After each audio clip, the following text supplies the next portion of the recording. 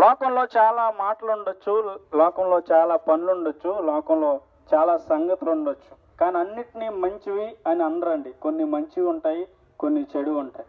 ఆ మార్గంలోనే సువార్త అంటే లోకంలో అనేకమైన వార్తలు ఉంటే ఉన్న వార్తలన్నిటిలో మంచి వార్తనే సువార్త అని అంటారండి. సువార్త అంటే ఏదైతే మన జీవితానికి ఉపయోగపడుతుందో ఏదైతే మన జీవితం లేకపోతే మన మార్గం సరైన విధంగా నడవడానికి ఏదైతే మనకు ఉపయోగపడుతుందో దాన్నే సువార్త అంటారండి. ప్రతి మనిషి ఈ లోకంలో పుట్టింది మొదలుకొని చనిపోయే వరకు ఈ రెండు జాన్ల పొట్టని పోషించుకోవడానికి ఆయా పనులు చేస్తూ ఉంటాడు ఆయా కష్టాలు చేస్తూ ఉంటాడు.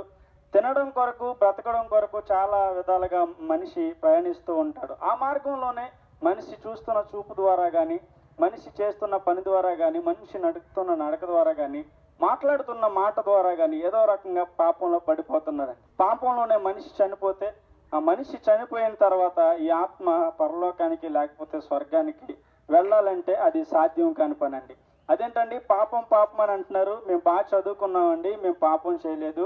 లేకపోతే మేము చాలా తెలివి కలిగిన వాళ్ళం అండి. చాలా అందం కలిగిన వాళ్ళు. లేకపోతే మాకు చాలా ఐశ్వర్యం ఉందండి. మేము పాపం చేయలేదు అని అనడానికి లేదండి. పాపానికి వయసుతో కానీ లేకపోతే రంగుతో కానీ జాతతో కానీ వర్గంతో కానీ దేంతోనూ భేదం లేదండి. అసలు పాపం పాపం అని అంటున్నారు బ్రదర్ పాపం అంటే ఏంటి అని మీరు నన్ను అడగొచ్చు. పాపం అంటే ఏం లేదండి. దేవుడు ఏదైతే చేయొద్దన్నాడో అది చేయడం పాపం. దేవుడు ఏదైతే చేయమన్నాడో అది చేయకపోవడమే పాపం అండి. కనుక ఆ పాపాన్ని మనలో పెట్టుకుని ఈర్ష ద్వేషం మనిషి పైన కుట్ర ఇలాంటి అన్ని ఆలోచనలు మనిషిలో పెట్టుకొని మనిషి చనిపోతే ఖచ్చితంగా నరకానికి వెళ్ళిపోతాడండి. అదేంటండి? నేను చనిపోతే పరలోకం వెళ్ళాలి లేకపోతే నేను చనిపోతే స్వర్గం వెళ్ళాలి కష్టాలు జీవితంలో ఉండ ఈ ఈ శరీరంతో నేను బ్రతికినంత కాలం చాలా కష్టాలు పడ్డానండి ఇబ్బందులు పడ్డానండి.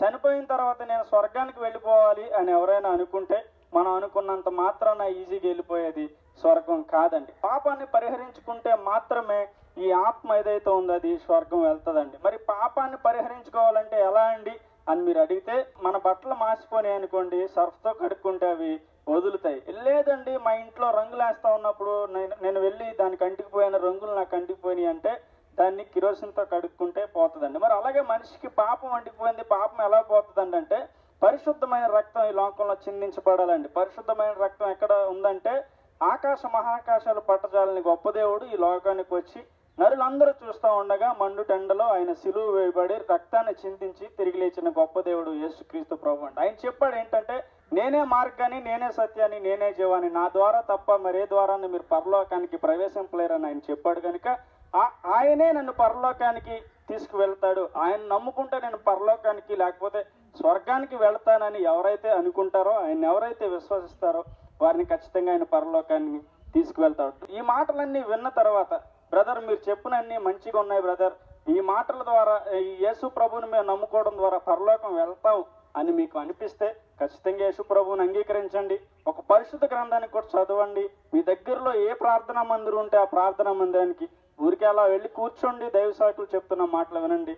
మీరు ఖచ్చితంగా ఈ లోకాన్ని విడిచిపెడితే పరలోక రాజ్యానికి మీరు వెళ్ళడానికి అది దోహదపడుతూ ఉంది లేదండి ఇంకా దేవుని గురించి నేను అనేకమైన విషయాలు మీరు తెలుసుకోవాలనుకుంటే ఒక పరిశుద్ధ గ్రంథాన్ని సంపాదించండి దాన్ని పూర్తిగా చదవండి. పరలోకాన్ని గురించిన అనేకమైన విషయాలు దానిలో ఉంటాయి. ఒకవేళ మీరున్న పరిస్థితుల్లో పరిశుద్ధ గ్రంథాన్ని మేము కొనుక్కోలేం బ్రదర్ అని ఒకవేళ మీరు ఎవరైనా అనుకుంటే మా సాకులను సంప్రదించండి. ప్రేమ అనే ఒక పత్రిక కూడా ఇస్తా ఉన్నారు. దాన్ని కూడా తీసుకోండి చదవనండి. ఒక ఉచిత ఒక పూర్తి బైబిల్ మీకు ఉచితంగా దైవ సాకులు మీకు ఇస్తారు. దాన్ని కూడా చదవండి. ఒకవేళ ఈ మాటలు ఎందు మీకు లక్ష్యం లక్ష్యం ఉంచితే మీరున్న చోటనే ఎవరికి అలా కళ్ళు మూసుకోండి దైవ సాకులు మీకోసం ప్రార్థన చేస్తారు.